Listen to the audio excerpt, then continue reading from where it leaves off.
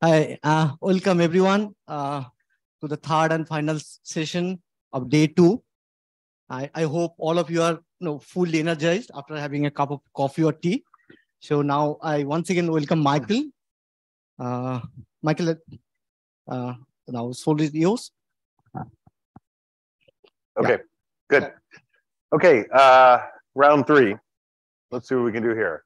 So I'm going to talk about, uh, we talked about the global energy challenge, talked about climate change. We bemoaned the failure of the world to listen to economists about pricing externalities. Uh, and now we're going to say, whoa, wait a minute, actually, it can happen. And I'm going to tell you about uh, an experiment that I ran with uh, my co authors, friends, uh, colleagues Rohini Pande, Nick, Nick Ryan, uh, and Anant uh, Sudarshan. Okay. Uh, and so this is about an experiment that we ran uh, in, uh, in, in Gujarat. Maybe.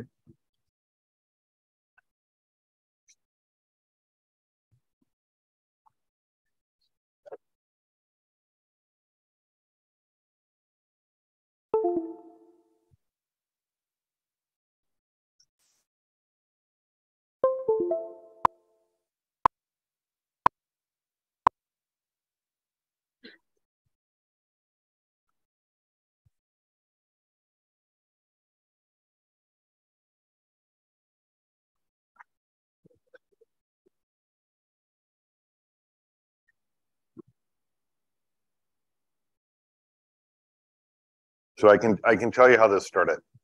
Uh,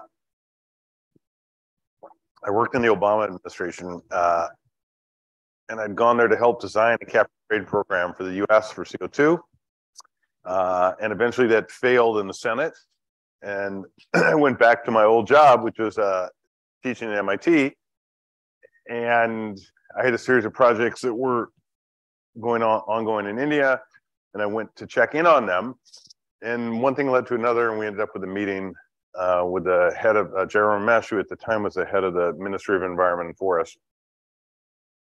And I said, "Oh well, you know, the United States can't do cap and trade, but uh, maybe India can do cap and trade."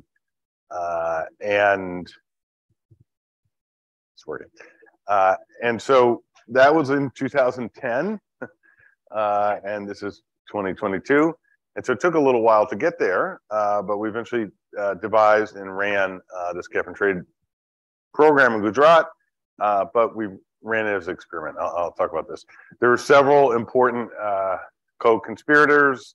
You know, the leader was the Gujarat Pollution Control Board, JPAL, CPCB, NEML, who ran the market, the operations market behind the scenes. Uh, and a lot of the industries who were regulated in this way uh, were textile processors, and uh, they all, most of them belong to this industry association in Surat.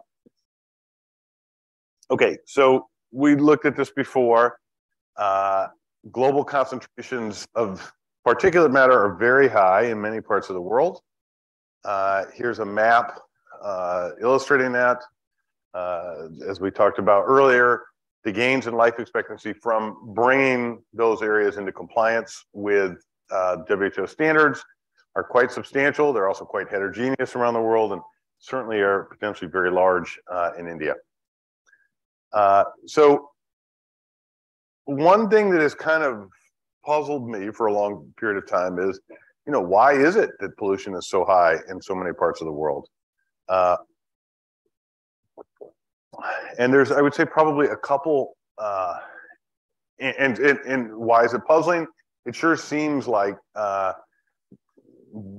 benefits and costs aren't being uh, equalized, uh, and so you know, or at least it feels that way. So, what are some explanations? One is, well, the benefits are not very large. Uh, that would imply that uh, that might be because there's very low willingness to pay for abatement. Maybe incomes are low, and there's more important needs than air pollution.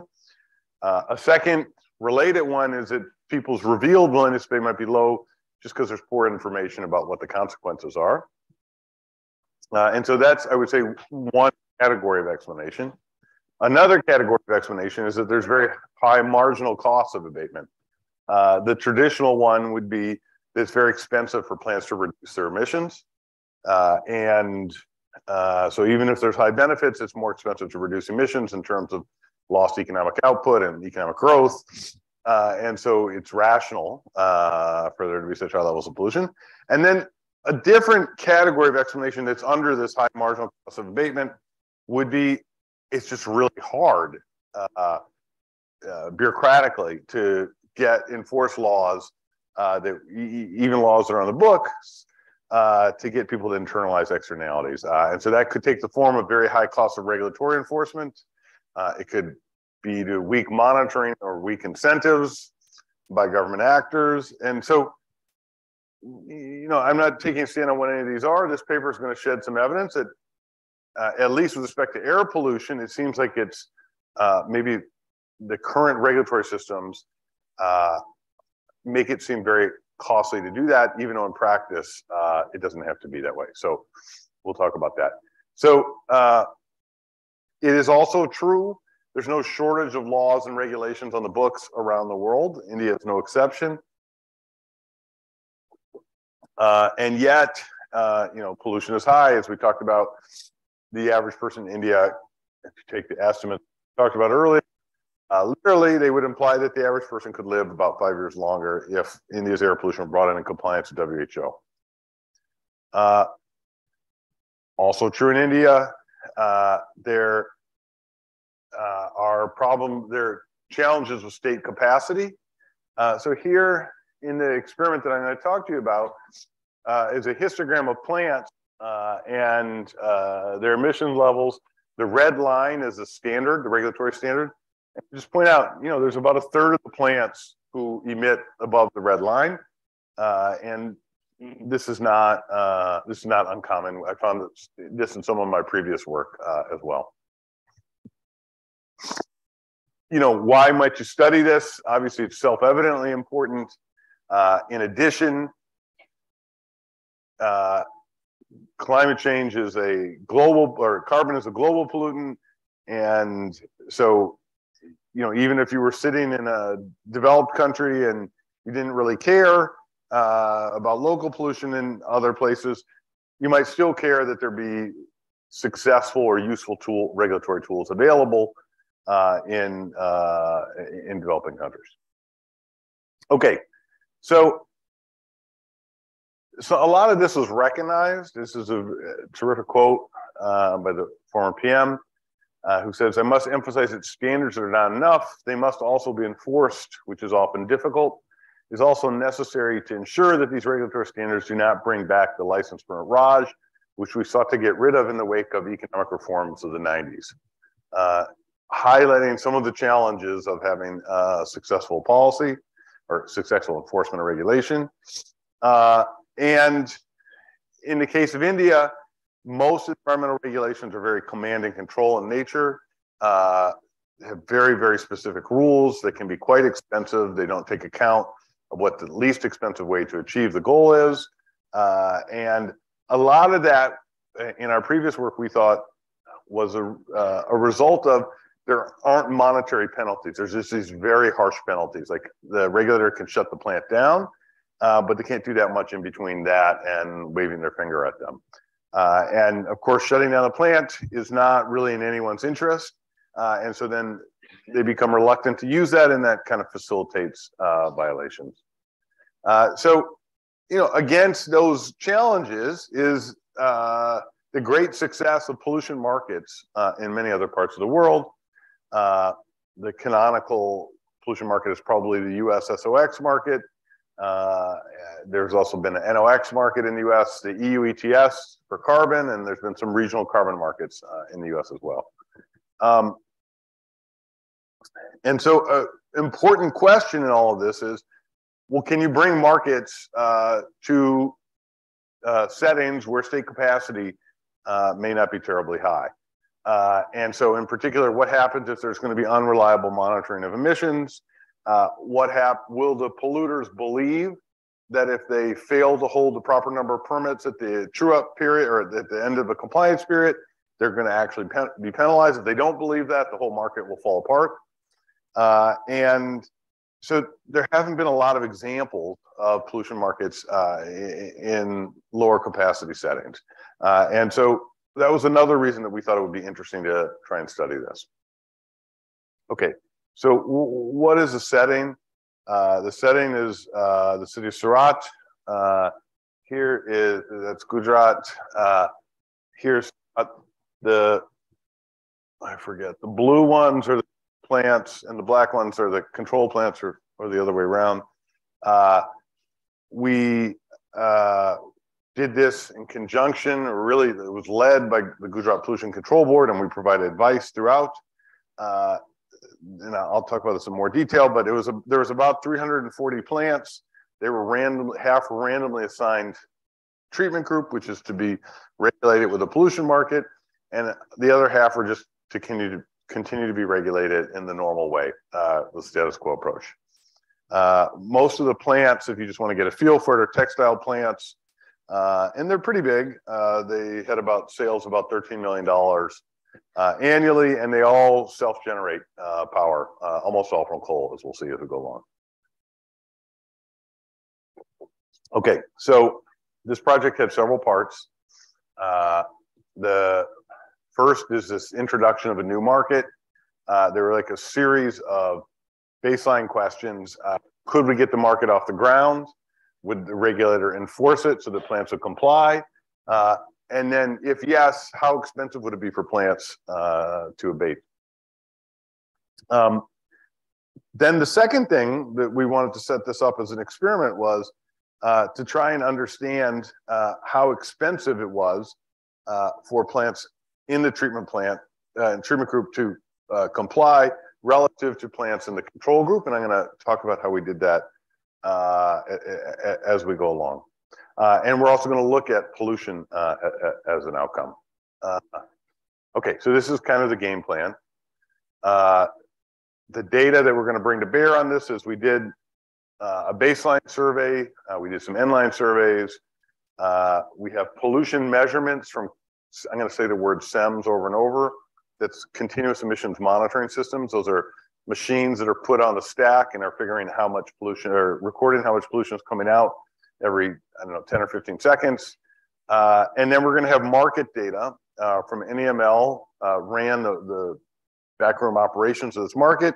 Uh, and we're going to have all the bids uh, that all the plants made and all the transactions that occurred in the marketplace and the uh, we'll have results from the auctions that were done quarterly, or not quarterly, at the beginning of each compliance period. Uh, this is what a plant would see when they went to their computer. Uh, they would see what their emissions are. They would see how far the market is towards the cap, uh, and they could enter bids uh, to buy and sell. So how do you decide the cap? I'm going to come to that, but why don't I give the answer now? Uh, we basically took the 150 micrograms per cubic meter which is the concentration standard, multiplied it by the number of hours that the typical plant is open and the throughput, the, the flow through the stack, uh, and basically said that's the cap. Uh, and and since guys were violating, that would already be a reduction relative uh, to the cap. And that's how we initially set the cap. Uh, it turned out uh, that that was pretty loose. Uh, and so then it was ratcheted down a, a, a, couple of times. But it was designed so that at least initially the stringency would be the same in the treatment group uh, as already existed in the control group. The complication is then the group it's a load standard, which is total as it comes out. In the co uh, control group, they're regulated by a concentration standard, which is uh, how, how polluted the air is at any point in time. So they amended the law to allow you to do that. That's a great question. Uh, no, they did not amend the law. We got a kind of waiver for uh, to try, uh, the Gujarat Pollution Control Board got a, a waiver for that. Uh, that that, that took some doing. Yeah, yeah, uh, and it helped have a very very effective head of the Gujarat Pollution Control Board at the time, who getting things done. Okay, so what are the results? Uh, and I should say this is the world's first market for particulates air pollution. Uh, there's never been one for particulates before. The part of the reason it's a little complicated is monitoring for particulates is more painful than gaseous pollutants. Uh, and but uh, in any event, this is the world's first one, and I, I, I won't spoil the ending, but the ending is exciting. Uh, okay, so the, what we found is that three basically three categories of results. Number one, the market worked uh, quite well. Uh, firms complied they, at the end of each compliance period. They had the right number of permits, uh, and I'll, I'll, I'll, talk about how in the first period there was a showdown, uh, but uh, the regulator won. Um, there was pretty active trading. Plans to just passively get what they were allocated and use that in a month. Uh, they did lots of trading. Uh, and the consequence, the ending permit ownership greatly from the initial allocations. Uh, and there was little evidence that firms were wasting money by not using all the permits they had. Uh, the second result, which was a little surprising, uh, given how we tried to design it, was that emissions were lower in the treatment group or the market, even though we designed it for that not to be the case. Uh, so in particular, emissions cut about 20 to 30% in the treatment group relative to the control. Uh, and uh, we think that that's because uh, the, uh, the operation of the monitoring and operation of the market turned out to be a more powerful regulatory tool than the regulator had at their discretion uh, available to them in advance. Uh, and so this was like a huge result. Pollution, these are very large reductions in pollution and it, they happen inside the treatment group relative to the control group. Uh, then the third uh, big result uh, is that the market saved polluters about 12 to 15% in terms of their compliance costs. and this is exactly what you would expect in a kind of blackboard example, but showing in the real world. This is the first time there's been a true counterfactual uh, for a cap and trade program. Um, one thing that isn't on this slide, but will come out as we go along, is it's it, we were also able to see how expensive it would be using the firm's bidding data. It would be for them uh, to comply with more stringent regulations. Uh, and so what we found is actually in the case of these plants in Surat, it would be quite inexpensive uh, for them to very substantially cut their pollution. And in fact, if you did a kind of cost benefit analysis, it looks like the benefits exceed the cost by like maybe a ratio of 100 to 1. Uh, so it's, it, it's kind of an amazing uh, set of results here. Um, okay, so we think this kind of attaches to several literatures. Uh, the first is kind of Devo literature result is uh, can market-based regulatory instruments work uh, in developing countries or countries with weaker institutions? Uh, and the answer seems to be a resounding yes.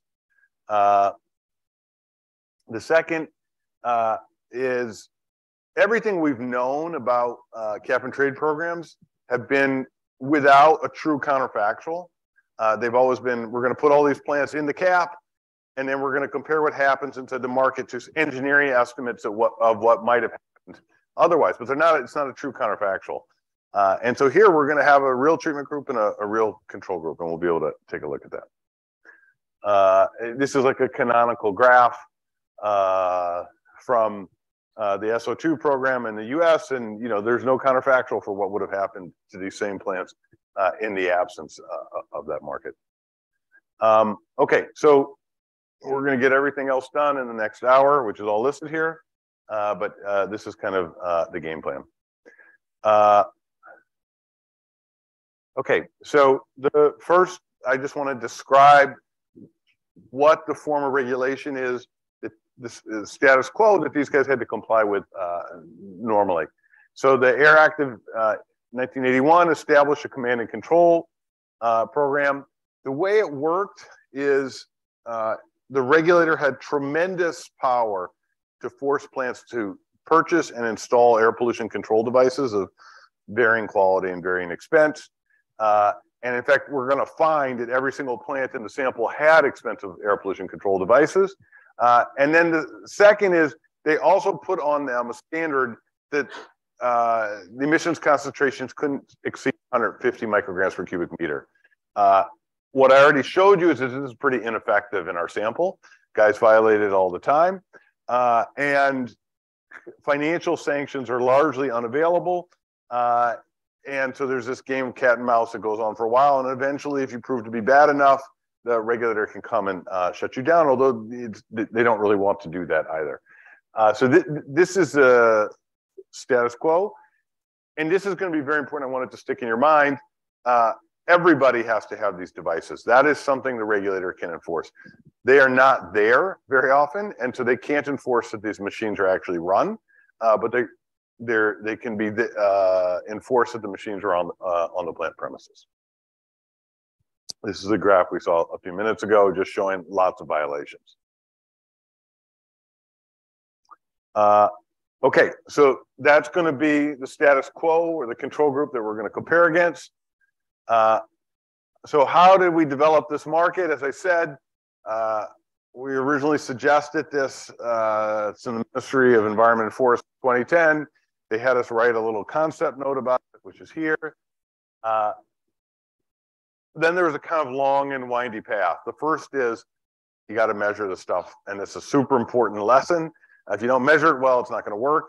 Uh, and so we spent a lot of time, and uh, thank goodness Anant Sudarshan was on the team, who was an actual engineer, not just an economist.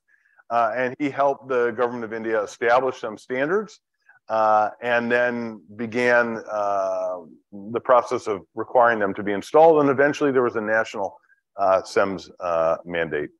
Uh, this was a little bit to your question about how we got the right to do it. Eventually there was a waiver from the Ministry of Environment and Forest. and then the market started in 2019. So there's a lot of boring details in the dot, dot, dot, but this is how, how it developed. Um, uh, okay, I think I said most of these things. The key thing was uh, to get the CEMS uh, installed and then to get them agree to agree that in the treatment group we could be regulated on total load across all the plants. That's total pollution instead of uh, the concentration standard. CEMS are in the stack. They're in the stacks. Uh, yes, they're in the stacks.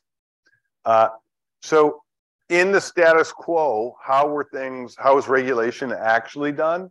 So they had to install these machines, they had to meet these standards. Now, how did they know if plants were meeting the standard or not? Once a year, maybe twice a year, a guy from uh, the Gujarat Pollution Control Board would come out. Uh, he would climb this kind of harrowing stack uh, and stick a probe into the stack collect in a thimble how much particulate matter the thimble was collecting. They would take it back to a lab.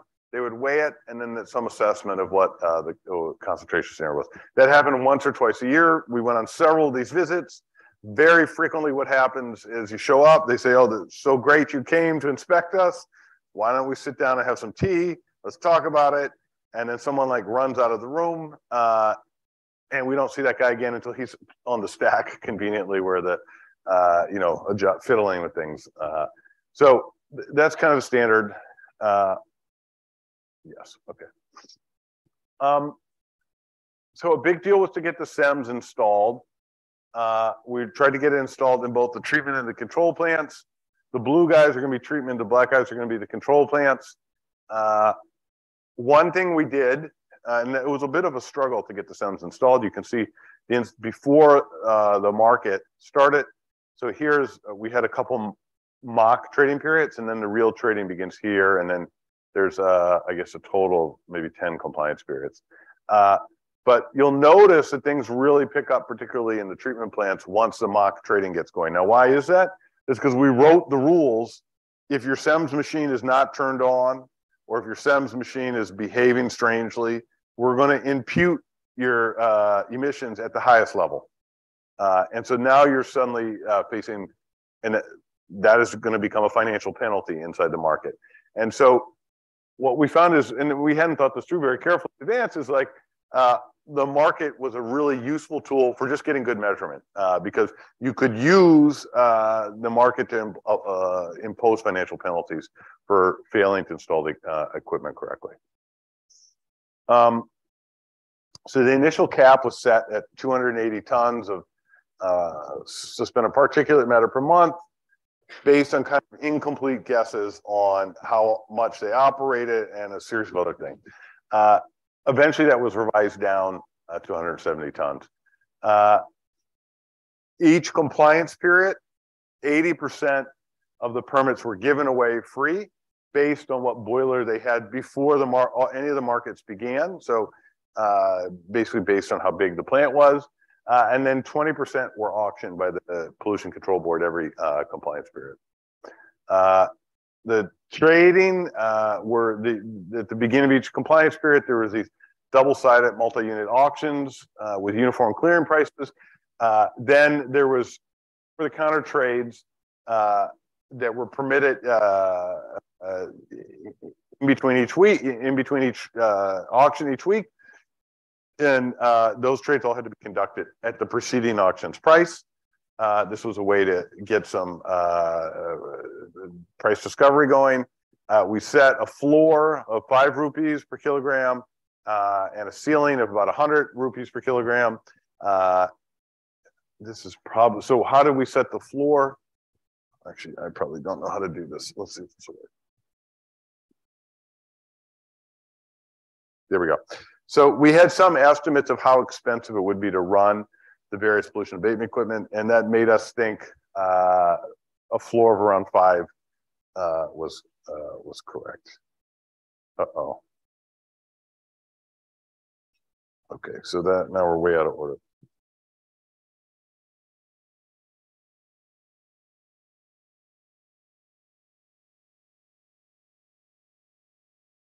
Okay.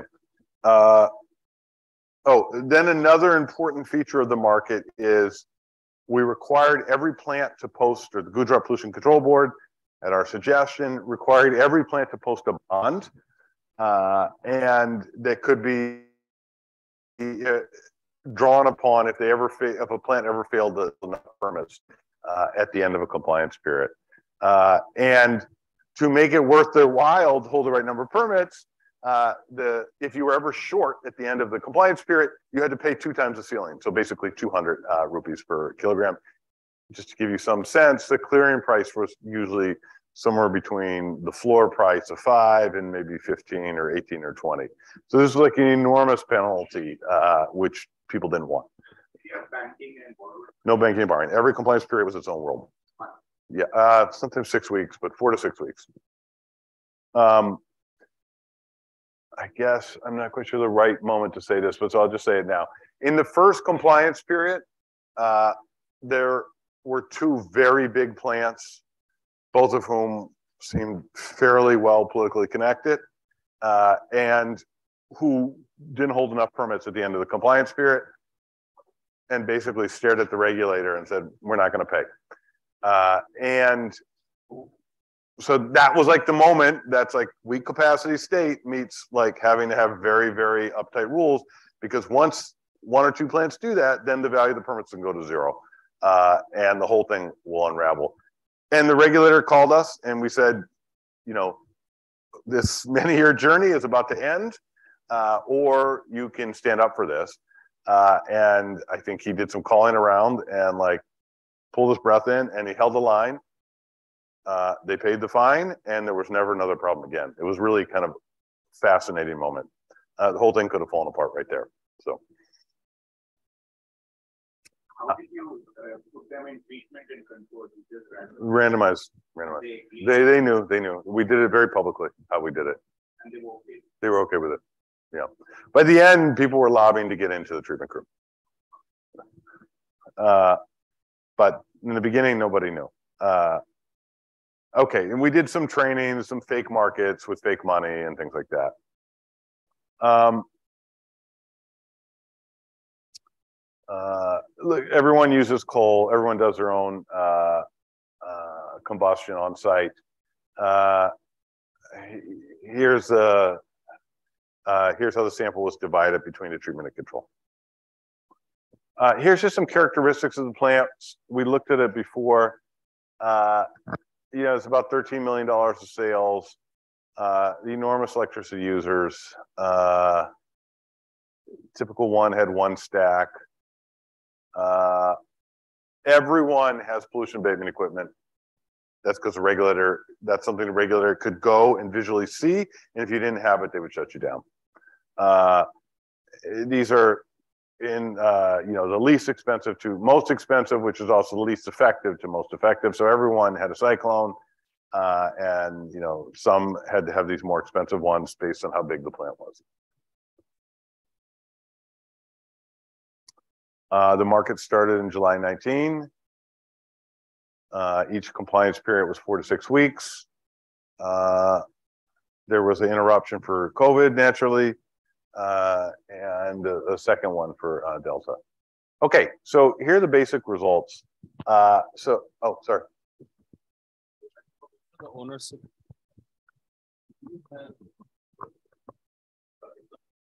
so do you have information on the ownership structure of these plants? Like, are they part of some multi-plant firms or?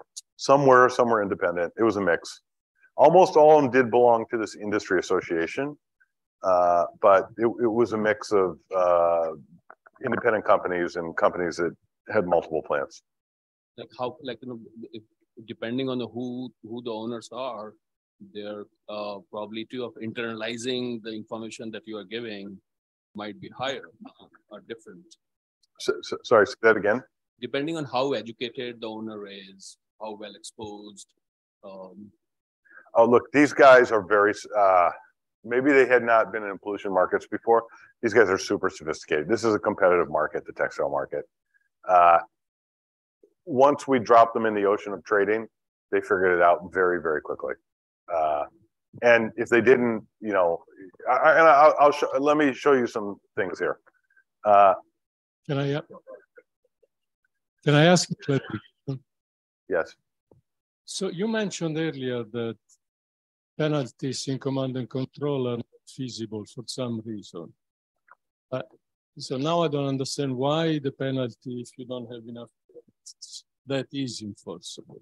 I mean, so, sorry, what, what, why could we enforce a penalty here? Yeah, I mean, there are two financial penalties. It doesn't matter where they're coming from. So I was confused a little bit. So in the so the problem in the status quo is that there aren't financial penalties.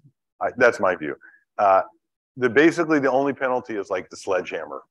Uh, I'll shut you down, uh, and that's what the regulator could do. But imposing financial penalties for missing the standard or something like that didn't really exist. The only thing they could do was uh, shut them down. And there's lots of political pressure on the regulator not to shut them down. The plants don't want to be shut down. Uh, it all feels very uh, irregular and uh, kind of aggressive, uh, overly aggressive.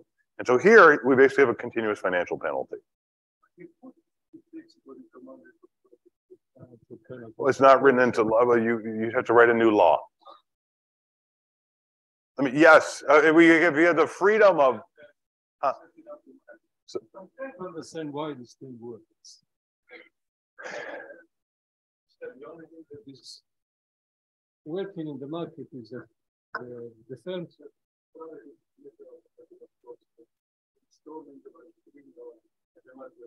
Yeah.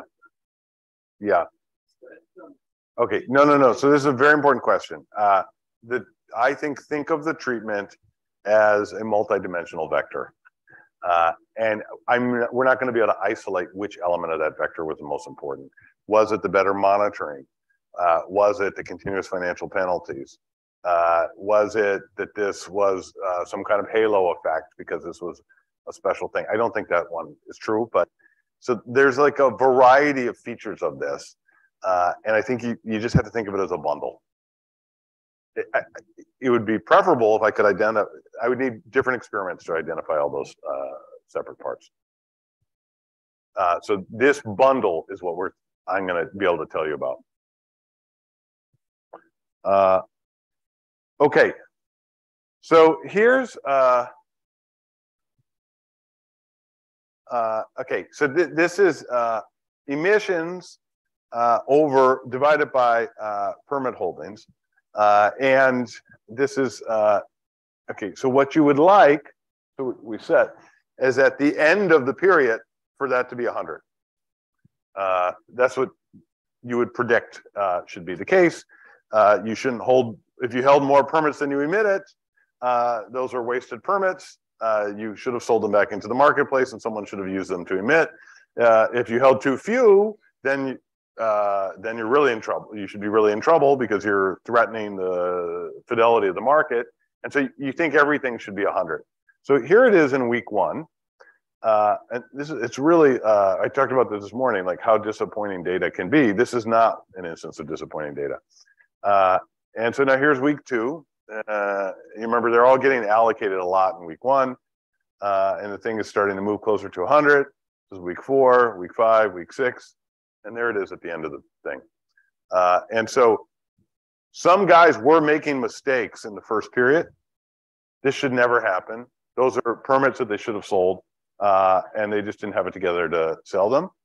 Uh, but you can see the vast majority of plants are right at 100. Uh, and so, in terms of is the market functioning well, and we even in period one, I thought this was pretty good evidence. Uh, now we're going to in it, it, the unspent one was about one and a half percent. Uh, now let's look at period 10. There was period two, period three, period four, period five, all the way to 10 when they get pretty good at this. And you can see basically nobody's making a mistake at the end. We're down to about 3%, and everyone's lined up right at 100. And these guys were testing the system uh, have now accepted the, uh, that the system is real. So that's one measure of was the market functioning well. Another one is uh, in the laziest version of this, guys are going to get their permits at the beginning of the period uh, and uh, they got their 80%, 80% uh, allocated, uh, and uh, maybe they would pro rata from the auctions in the beginning, uh, split the other 20%, and everyone would end uh, with uh, emissions at maybe divided by permit allocations, as if nothing, as if no trading had happened. Oh, if no trading happened. And what you can see is actually people end up at very different places by the end. Uh, some people have emissions that are way smaller than their initial permit allocations. That's these guys. Uh, some people have uh, emissions that are way larger than their permit allocations. Those, in principle, are people who found it very expensive uh, to abate. And so they're going to buy permits from these guys. Uh, and then you, can see the same thing is uh, true in period 10. So like this is not like a decisive, we kind of got a collage of evidence on how the market was working. Here's a, another piece of evidence. Uh, it is also true that there was a, it looks like there was a fair amount of trading. Uh, obviously, the most was in that first day uh, with the auctions. Uh, but then you can see every day that there's trading, and uh, even on the non auction days, there can be pretty high volume relative to the uh, overall float. Um, Here's the permit prices. you can see in the beginning, actually, the circles are the average bid, and these lines, the equilibrium price. Uh, and you can see actually they weren't they weren't great at uh, the bid a little bit too high in the beginning. People were learning their marginal abatement costs, uh, and by the end, their marginal abatement costs uh, are pretty close to what the equilibrium price or their bids are pretty close to what the equilibrium price is. Uh, and so you can, it feels like you can see the learning happening uh, uh, across these compliance periods. Um, here's just the dates of how it worked and these different points at which the cap went down. Okay. Um,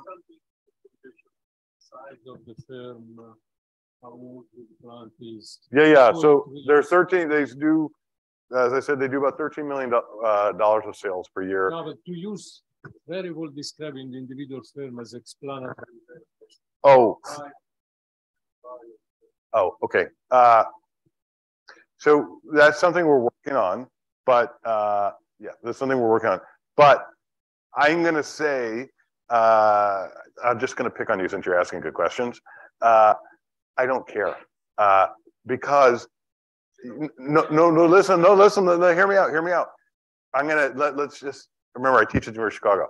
Uh, the power of the market here is it doesn't matter. They all know better than you do. They know better than the regulator does. The reason you want that is because you think that you know how to allocate emissions across those plants. Uh, no, no, I'm going to put that in you on you. And instead, what we're going to do is we're going to let the power of the invisible hand have people reveal uh, through their bids uh, what their marginal abatement costs are. Instead of correlating it with, are you is the owner left-handed, or is he an owner of the textile association, or things like that. No, no, there's no what political pressure here. No, no, no, no, no, no. There's no, no, no. This is these are they're uh, they're trading on a real exchange uh, through on a computer screen.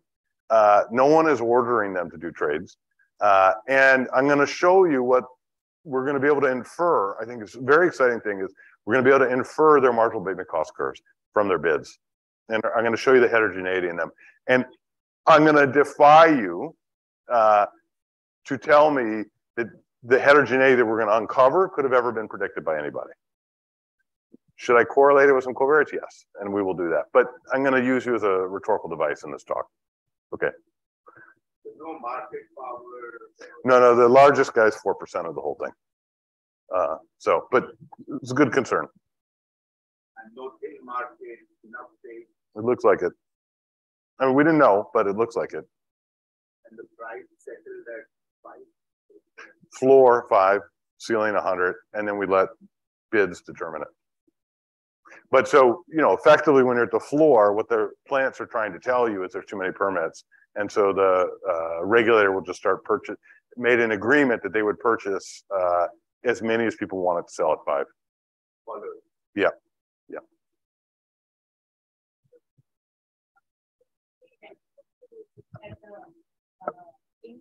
The, the of these companies, uh, in terms of their compliance. Because, uh, for certain industries like cement industry, uh, uh, the marginal cost of abatement, um, might be very, very high. So they would want to purchase this more. So, uh, and, uh, will it be able to like focus the market to particular industry? So here's what I'll say. 85% of them were the same industry. And actually, we were worried about that. So let me pick on my friend again here. Uh, we were worried about that because we thought they would be too similar. Uh, and there wouldn't be heterogeneity in abatement costs, and it would not be possible to get trades because of that. Uh, and so what I'm going to show you is even when they're all, this is like the beauty of markets, even when they're all, practically all, 85% in the same industry, uh, there's still very important differences uh, that are not, uh, that we don't know how to have predicted in advance.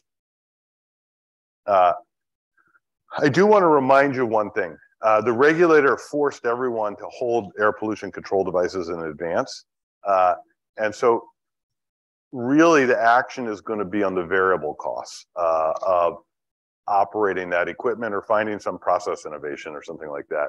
Uh, I think a lot of us have in the back of our mind, plants are going to rethink how they re do everything. And that's not true here uh, because everybody already had these requirements to install this expensive pollution abatement. Since it's close by, why won't they just make a cartel or collude or something like that because they all know each other, they're nearby, and they sort of, yeah, the same industry. I mean, maybe have A cartel against the regulator? A price fixing or something. I mean, you know, over beer. Well, it's Gujarat, so no beer.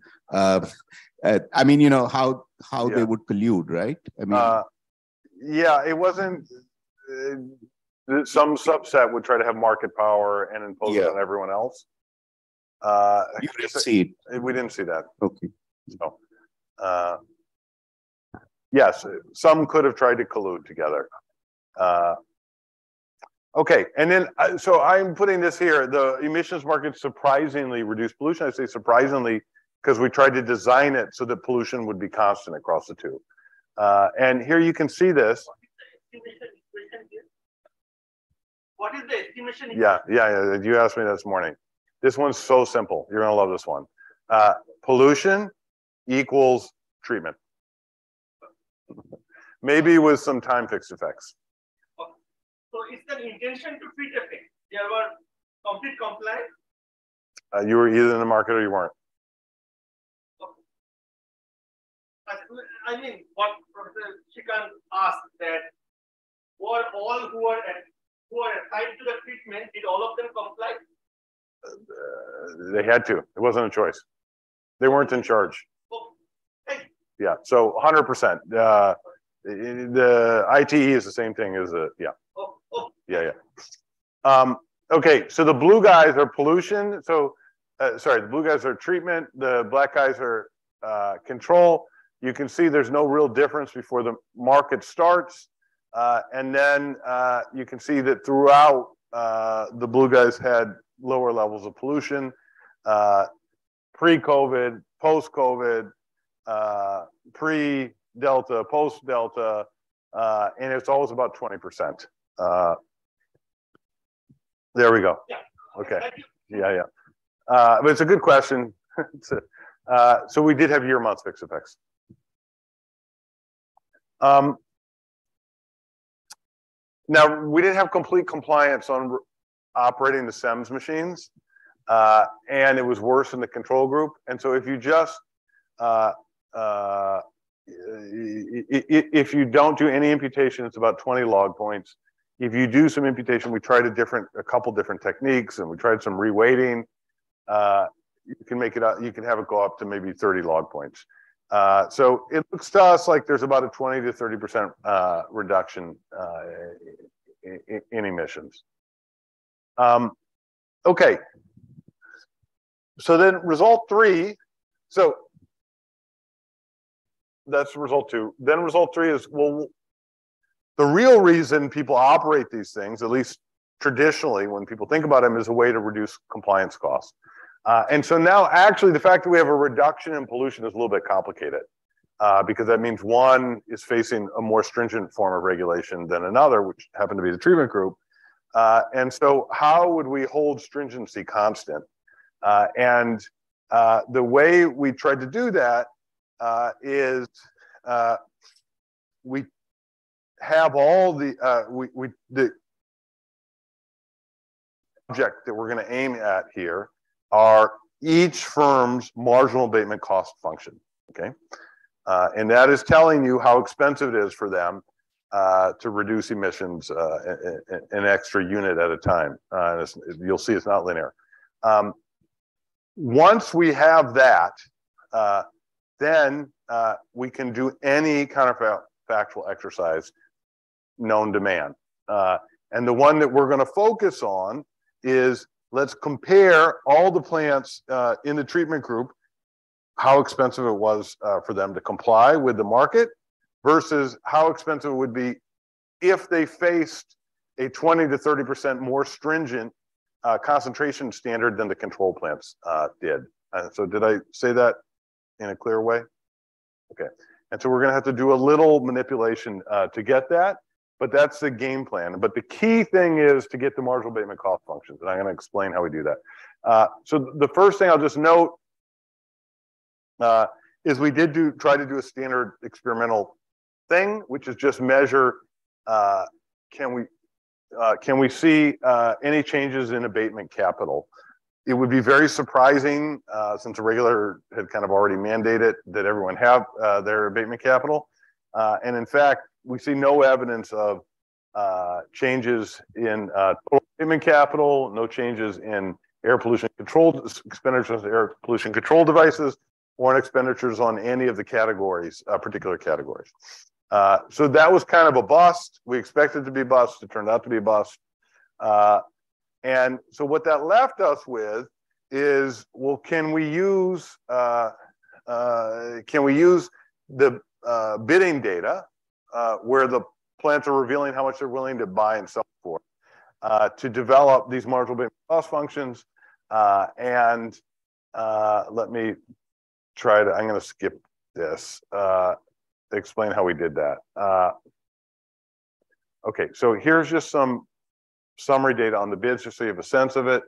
Uh, in period one, there were about 15, uh, 1,500 bids uh, for a total of, and these are bids to buy and sell, uh, for the total quantities in uh, kgs. uh, the bid price. This is the average bid price, and you can see we have all this information uh, for each period, and we're going to have it plant uh, plant by plant. But here's some uh, summaries. Um, we looked at this. Uh, okay, I'm going to skip. This is just like boring math to get us to maybe we can use uh, the plant's bids uh, to learn something uh, about their marginal abatement cost function. Uh, and uh, the way we're going to do that, uh, I mean, so this is just math that says what plants want to do is minimize their compliance costs, minimize, minimize their compliance costs, which is going to be a function of their emissions, and that if you take the derivative abatement uh, variable abatement cost emissions, uh, that'll give you their uh, marginal abatement cost. Uh, and in the market case, uh, what is so powerful about the market is that all plants will set their marginal abatement costs equal to P, the same P.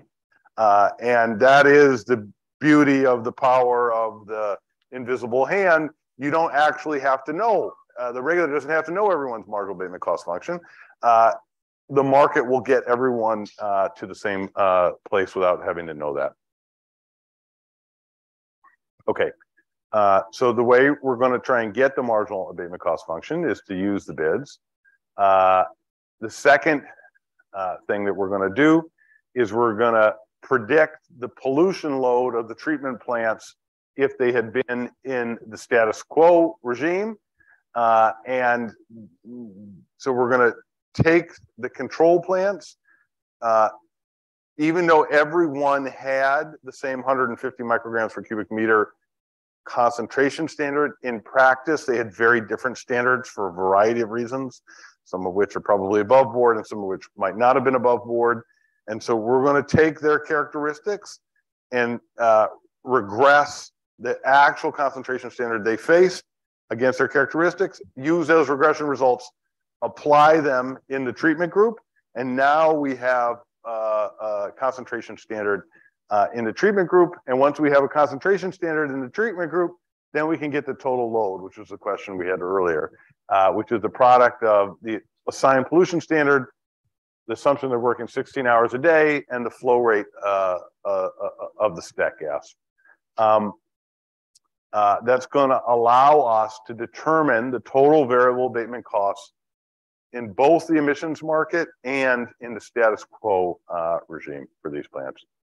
Okay, so here uh, is what I think is really exciting uh, is you'll be happy. We're going to estimate the bid.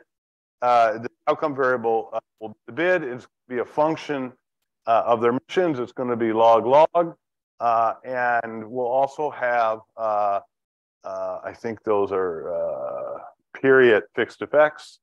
Uh, IT, almost positive. Yeah, BITK is a uh, plant I at period T. Uh, and so, uh, oh, so we're going to have plant by period fixed effects. Sorry, I should say that. Uh, so if the plant is having a cost shock that varies across the compliance periods, we're going to regress that out. And then we're going to say all bids around that fixed effect are going to reveal uh, the uh, are, are, are going to reveal the marginal abatement cost function. Uh, and so the key thing is that we're allowing for this plant by period heterogeneity abatement costs. Uh, and uh, we're going to use uh, conditional on that, we can recover these marginal abatement cost functions. and in fact, you know, if you don't include those period by plant fixed effects, uh, you have a uh, smaller elasticity.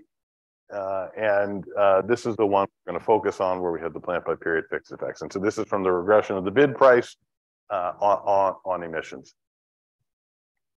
Okay, now I want to give you a, a, sense, just so you feel like I didn't do magic there. Let's like look at the raw data. So here's one plant. Uh, this is their ID in the Gujarat Pollution Control Board system. I think this is a real name, but I'm not positive. Uh, or, or, maybe we had to obscure it and make it a fake name. But the triangle is uh, buy bids, and the circle are uh, the circles are uh, sell bids. Uh, and you can see this plant in this one period. I think this is uh, period compliance period eight. These are the various bids they made. Uh, now, this is uh, the line that goes through that the estimation of this equation, or not the line, but the uh, function that goes through that. Uh, and so what you should read this is, we're using these bids uh, to recover the plant's marginal abatement cost function. And so let's say that in English, like if they went from 5,000 kg to 4,000, uh, the cost of doing that would be the area underneath that triangle. Uh, you can see uh, when you get, as you start to get cleaner and cleaner and take more and more out, uh, you can see that the response function is getting steeper and steeper. Exactly what you would expect. Like it's easiest to get rid of the first unit of pollution than it is uh, the very last unit of pollution. Okay, So- does that make sense? So Michael, the action is only from the variable cost. A hundred percent because of uh, this uh, uh, requirement that the capital cost is already all mandated. So I'm wondering about this smooth function because variable cost could be electricity, which is same, Uh, uh, wages. So- it, it, it's wages, it's process uh, changes. Some of them made some process changes. Uh, some of them, uh, there's maintenance of the machine. Uh, I, I, I agree. This is a pretty tightly constrained setting. And, but so far, I haven't told, I haven't told anything about heterogeneity yet. This is just one plant, right? Because sometimes you, when you see these kinds of uh, work, you see more like step shape marginal abatement costs Oh, well, because, I'm fitting this smooth Okay, function through it. yeah. I mean, that's, because you would have, Yeah, I, I think that's actually right, absolutely right. But this is like a gross uh, representation of the truth here, yeah, which comes out of this, right? okay. It, it is the bids that are disciplining this. They're discrete, right? So that's why. Yes. But remember, and remember, I'm identifying, I do have a fixed effect for each plant, but I am identifying the slope across all the different plants. That's why you're getting the, That's where the smoothness is coming from. But that's it's a very important question. Okay, now I'm gonna do some, start to do some cool things here. Oh, here's the second plant. Uh, uh, and here's the function for that guy. Uh, okay. Uh, so just now I got 160 of the, or 107, whatever. 160, 170s. We can do this for each of the plants uh, in, in, in the market. I'm going to show you that as we go along. Uh, now, uh, okay. So how are we going to solve? So the sorry, the next step uh, is to get the pollution market cost curve.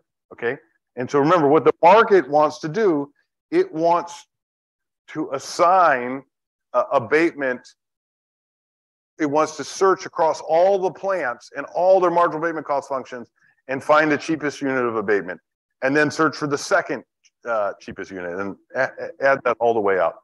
Uh, and so that's how you would build the pollution market uh, cost curve. Uh, and uh, you would then effectively you would you would solve for the equilibrium price uh, and you would see where everyone was located on their marginal abatement cost curve then. Uh, uh, and then that's going to give you uh, the total emissions, the function of the market and price. Uh,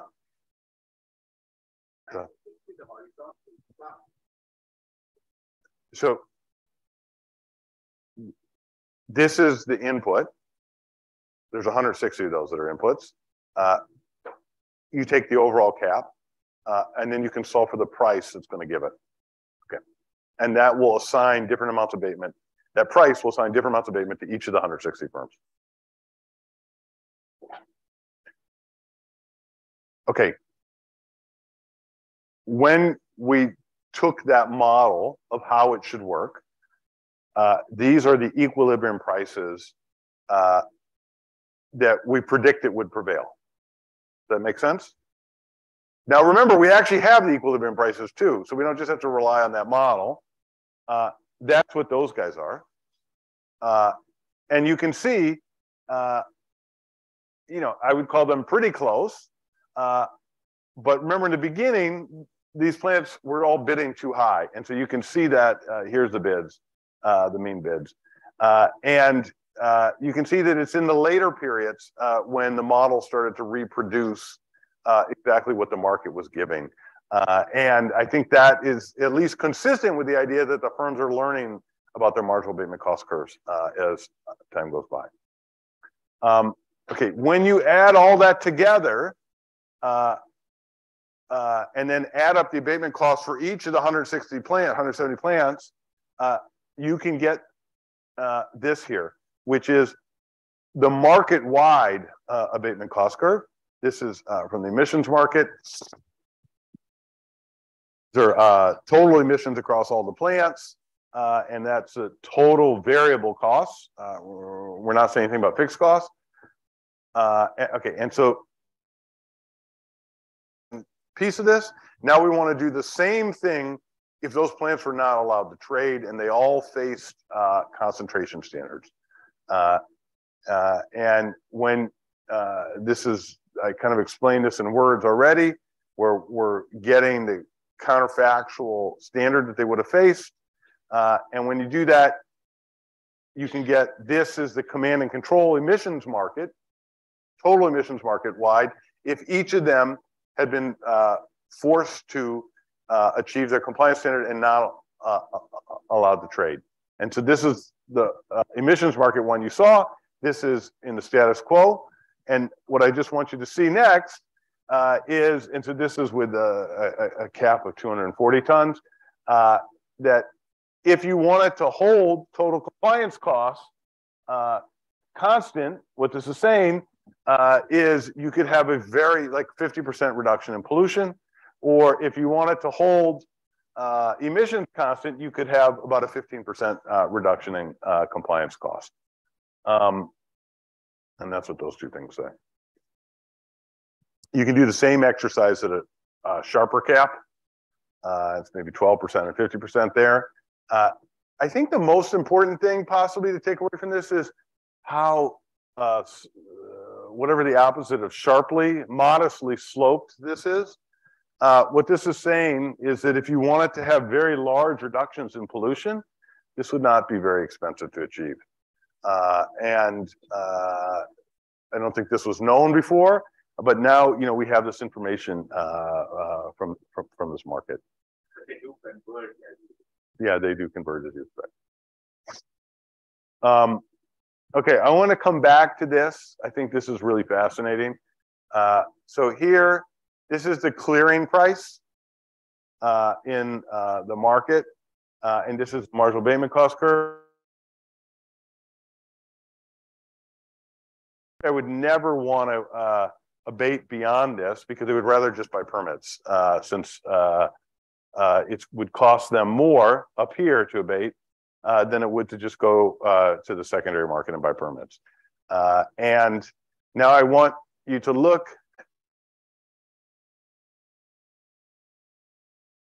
in the status quo. And you can see in the status quo, this plant would have been forced to abate all the way to here. Does that make sense? Okay. And if it's forced to abate all the way there, that's no good for them uh, relative to being in the market because they find it they find it pretty expensive uh, to get there. And so what you can see is that under command and control, all the area under here is their compliance costs. Uh, and now see if I got the colors right. Yeah. Uh, uh what the market is offering them uh, is this orangish or reddish uh, thing, which is the gains they can get from buying permits rather than doing the abatement themselves. Okay, so this is like, this kind of graph is in every cap and trade illustration in a textbook, uh, but this is actually with, you know, real data. Uh, here is another plant, this other plant we looked at before. You're gonna see why I chose them. These guys find it really, really cheap to abate pollution. Uh, and at the market clearing price, they're actually happy uh, to abate far beyond or somewhat far beyond what they would have abated just uh, uh, with the concentration standard, and they get to make all this extra money. So it costs them this, but then they get to sell at the dotted line, and this is pure profit for them. And so like this is a pollution market working.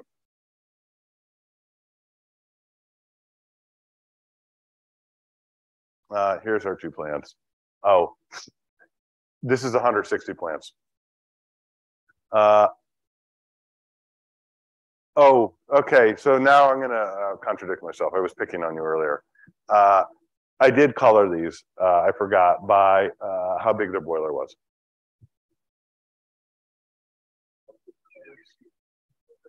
So, so you can't see it, but there's maybe you can see these are each. There's 160 lines here. Uh, and the, uh, the darker colors are the big guys with bigger boilers.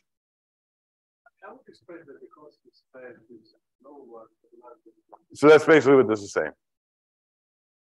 So your intuition, you, you should have been the regulator. You should have been the social planner. no, I know, but you're helping me make my point. So I'm going to keep using you.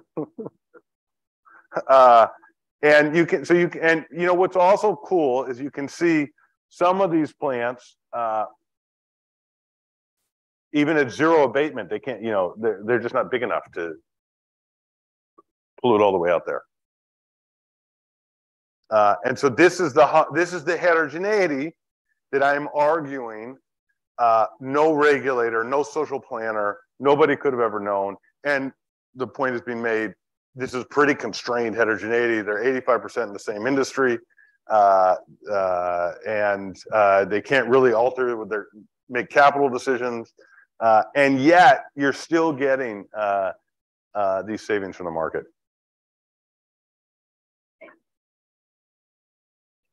Okay, this is just the same things we saw earlier. Oh, and this is just making a point. You know, if you really want that big reductions in pollution, it's not very expensive, given that these guys already installed all this equipment already. Okay, uh, so, oh, and then here's a little cost benefit analysis that we put together. Uh, suppose this were scaled up. Uh, there's about 900 plants in principle this could be scaled up to in Surat, or an extra 600. Uh, yeah, about 900. Uh, so imagine they all did. Uh, it would cost uh, about 310 million rupees uh, to do that for the monitoring costs. Uh, the headline reduction in pollution you would get from that, given stationary sources contribution from a source apportionment study to pollution in Gujarat uh, in Surat is you get about five and a half micrograms per cubic meter PM 2.5. That's a lot. That's like almost a WHO standard by itself. Uh, so, and the way you get that is the following steps. You assume about a 20% treatment effect. Uh, you take the source apportionment study saying that those plants count for about 28 micrograms per cubic meter. 0.2 times that gives you 5.5. Uh, assume that it's applied to all the plants in the city, and that's how you get the 5.5. Uh, you can use the value of statistical life uh, uh to turn it into dollars uh, using what we looked at earlier today on the relationship from China, on the relationship between PM uh, 2.5 and life expectancy. Uh, and given the number of people in Surat, uh, one thing leads to another. And you, you, you, know, you get this kind of like insane benefit to cost ratio, about 100 to 1. Uh, so I would say going back to the first question I posed, uh, is it that the benefits of doing this are too small? I don't think that's true. Uh, the benefits are very high. It appears like the costs are on the execution side uh, and uh, finding a regulatory tool that could deliver these uh, reductions uh, in, in, pollution. Okay, so you know, just to summarize, the emissions market functioned pretty well. It surprisingly, at least relative to our efforts to design it, reduce pollution. It also reduced abatement costs. Uh, and I think it's an important proof of concept uh, that for environmental markets and emerging economies, uh, which had several features to it, hard to isolate the impact of any one of them. Uh, and where is this going? Uh, Gujarat is scaling this up the 170 control plants are being put into the market maybe on January 1st. Uh, they're starting a second market in Ahmedabad. Uh, and uh, we signed an MOU with the uh, chief minister to help them set up a carbon market, uh, all based on uh, taking this wacky idea, which people knew was true in other settings, and were uncertain about whether or not uh, it would work uh, in this setting. And there's now evidence of this working in this setting. So, okay, so that's talk. Be happy to answer any questions. So the geographic area is small enough to not worry about uniformly dispersed pollutants. Yeah. Surat is a small, it's basically one yeah. airshed. Yeah. So if you were to, uh, so these are cities and these are probably sources. They'd be separate markets. The Ahmedabad will be a separate market. Yeah. So now I'm trying to convince them uh, to have trading ratios. Okay uh, and to allow trading to get more heterogeneity into the market. You then you need the dispersion models and the, all that stuff. Yeah, all that stuff. So that's not impossible to do. Yeah, I mean, yeah, in principle it can be done. And for carbon, then there is really no problem. Carbon doesn't matter. But where is the cap? Where are the regulations and the cap for carbon? Carbon? Yeah, we were talking about that earlier. Yeah, right? yeah, so, yeah, yeah, yeah. So there are none right now. So it'll be some voluntary kind of a cap, right? Uh, I think you could imagine running a pilot in uh, Gujarat. Yeah. Uh, we'd have to get special authority from the MOEF. But it would be similar because it's again coal, and you know, I mean, the the, the fuel is more or less the same, right? So oh, it's uh, it's so much easier for CO two. Uh, the mo- all the monitoring drama goes out the window. Yeah, because you just if you tell me the fuels you use, I know your CO two. Yeah, yeah, okay. And they all have to report the fuels uh, through other uh, through other avenues. Much easier, much easier much easier for SOX too. I'm just thinking about the fixed costs. I haven't really thought this through, but since the fixed costs are there and they're somewhat different, right, for these different plants. So is there a scale economy or something going on there? I don't know.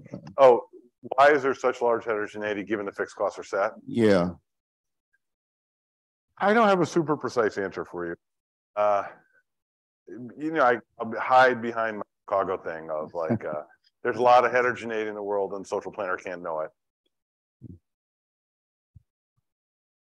Okay, thanks. But, but you know, uh, they're trying to tell you, me, through the bids that there is heterogeneity. That's what they're revealing. Okay, thank you, Michael, for the nice presentation. And still, we are well ahead of time, and it's roughly around 10 minutes we have. If you have any question, please raise your hand. Yeah.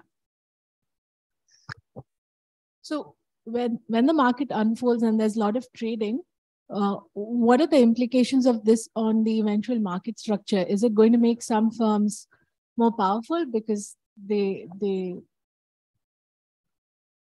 the ones who are buying?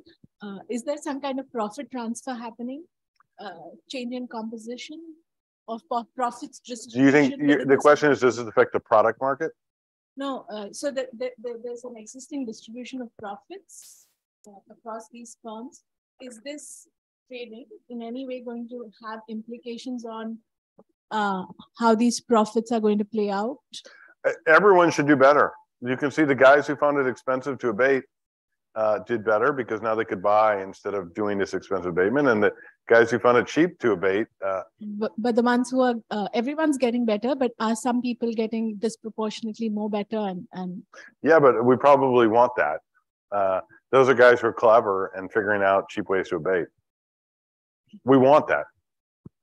We want everyone to get smarter about it.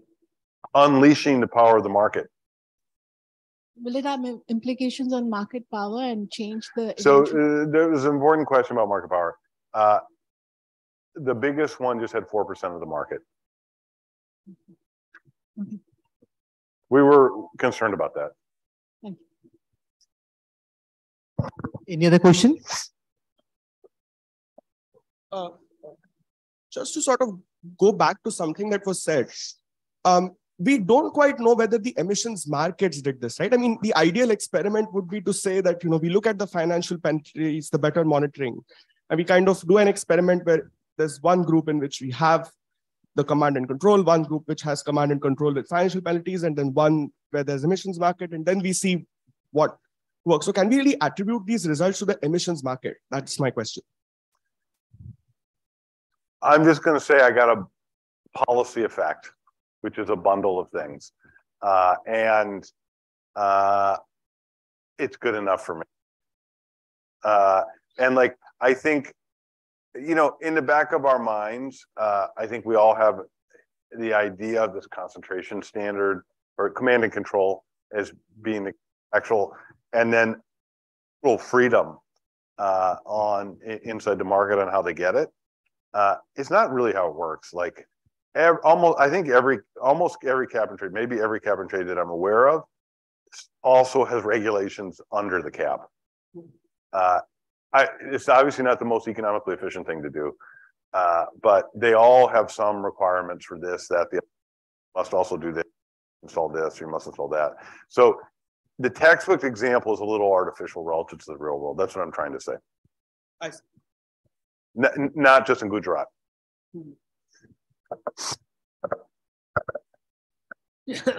I told you the equation already.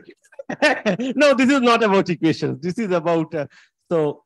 Uh, why do you think the Gujarat government wanted to reduce pollution?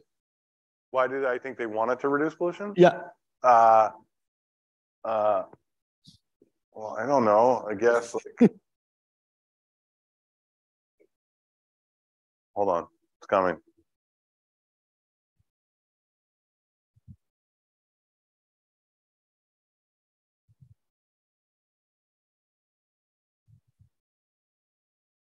It's less dramatic when it takes this long. That's Surat. Yeah. So no, but there is, but as you said, CO2 emission, these are externalities. These are externalities. So why will a Oh, state why do, care? why do they want to do CO2? Yeah, Oh, oh, oh, I thought you meant PM. Why do they want to do CO2? Yeah. Uh, because the central government called them and said, uh, the prime minister promised this uh, thing, uh, and now you have to do your share. That's Okay. why. So so it was a BJP ruled state, so that's why they wanted to Yeah, follow the PM. Yeah, mandate. yeah. Okay, thank you. yeah, yeah. The prime minister did this on the national stage. Now we have to do it. Yeah. Thank you. Thank Yeah. you. A- Any more question? Okay, all right. So uh, I once again I thank you, you know, Michael, for this very nice and engaging presentation. And with this, I conclude this session. And thank you, everyone. Thank you.